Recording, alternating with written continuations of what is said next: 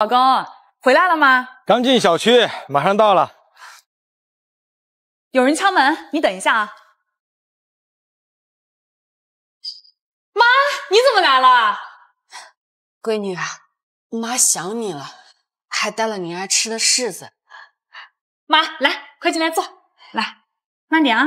妈，来，你先坐会儿，我去给你倒杯热水。哎，闺女啊，先别忙活了。妈这次来啊，是想求你一件事儿。妈，是出什么事儿了吗？闺女，您爸这次查出来了肝不好，医生说要动手术，这手术费需要四十万呀。做手术的话，还能多活几年。要是不做手术，顶多一个月呀。可是妈没钱呀，妈不想没了你爸。闺女啊，妈实在没有办法，就只能来找你了。妈，那大哥他们知道这事儿吗？你大哥家妈也去了，他今年刚买的房子，手里边也没钱，妈没办法，就只能来找你了。妈，我今年生意也不好做，你这突然间问我要四十万，我上哪去给你拿这么多钱呀？闺女，妈跟你爸已经生活了几十年，从来都没有分开过。要是你爸没了，妈也活不下去了。妈，闺女，妈给你跪下了，求求你爸，可以救救你爸。妈，你先起来，你别着急，来。妈，你等我一下。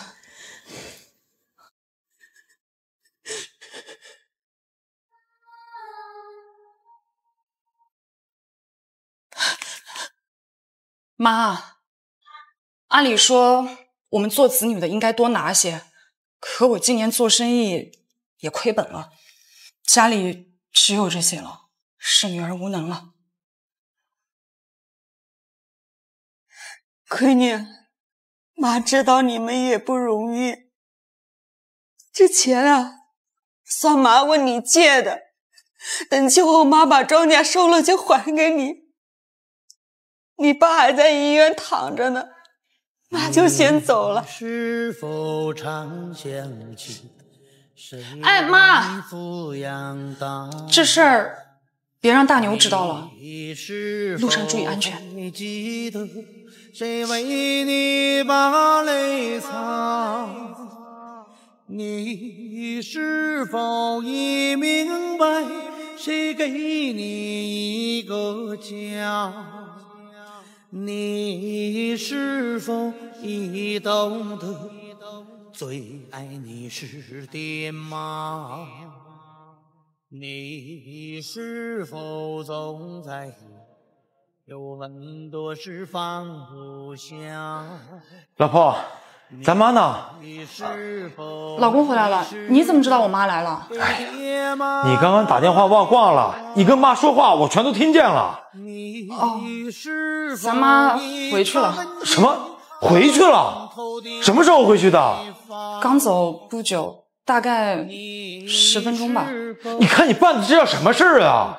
老公，我爸生病要做手术，我给咱妈拿了一万块钱，你别生气啊。我怎么能不生气呀？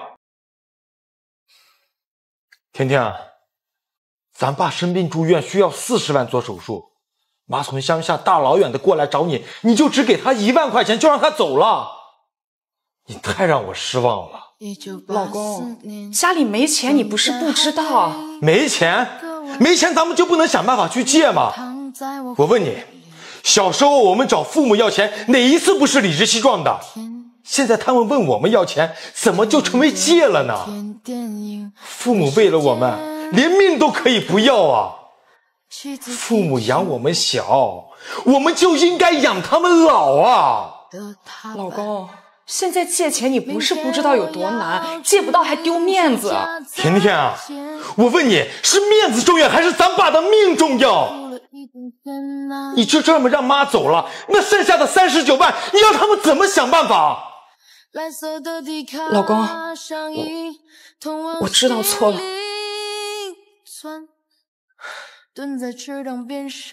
老婆，父母在，家就在。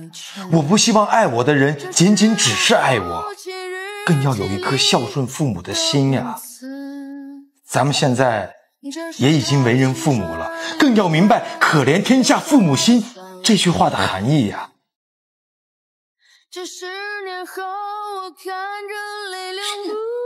老婆，拿着。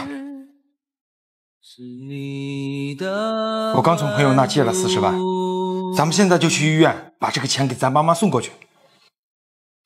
你轻轻地走过了，在风雨花丛中。妈，哎，妈，在家呀！我过来看一下你和爸。哦，对了，这个呢是我自己种的菜，拿过来给你和爸吃。谁家没种菜呀？净吃些。破包菜、烂黄瓜，你还是拿回去自己吃啊！妈妈，我们来了。妈，哎呀，儿子儿媳妇回来了，回来就回来嘛，还带这么多东西。哎呀，萌萌，孩子还好吧？孩子挺好的嘛，还是我儿子最孝顺呀，回来呀还大包小包的。天气这么热，别热坏了，来，快进来。没事儿，快过来坐，慢点啊。你先坐，妈去给你做好吃的。嗯，好。哼，小妹，你杵那干什么呀？我说小妹，你不会是走路来的吧？哎呀，你要是没车，你跟我们说呀，我让你大哥拉你过来。这坐车呀，可舒服了。就是呀。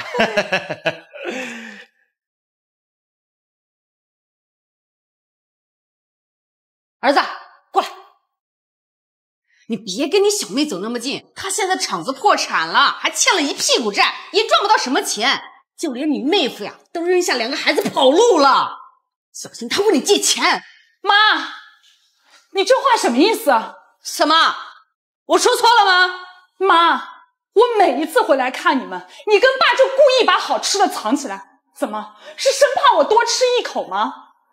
是，这两年我工厂效益不好，没有赚到钱，可我哪一次张口问你跟爸要过一分钱？还是说我少回来看过你们一次，我少在你们跟前尽过一次孝？小妹，你怎么跟妈说话呢？大哥，你先别着急说话。是，这两年你是挣到钱了，可你也得把钱当钱，你得省着点花。眼瞅着嫂子马上就要生了，你们用钱的地方多了去了。大哥，你好好的想一想，以前我有钱的时候，咱妈是怎么对我的？我现在没钱了，咱妈又是怎么对我的？这个道理，这人呀，有钱了，走到哪儿都吃香；人没钱了，哪怕是最亲近的人都嫌弃他。老板，你怎么来了？哎，老板，你怎么穿成这样啊？我故意穿成这样的，怎么了，马秘书？是这样的，老板，这是咱们合作方打的一千万定金，来给您。一千万，好。老妹，原来你没破产呀！今天晚上你就别走了，我哥给你做你最喜欢吃的铁锅炖大鹅啊！对对对，不用了，哥，这铁锅炖大鹅呀，妹怕是吃不习惯。我呢，还是回去吃我这些破菜。花无百日红，人无百年富，三十年河东，三十年河西。人有钱的时候，不要看不起任何人；人没钱的时候，也不要向任何人低头。莫欺少年穷。家人们，你们说我说的对吗？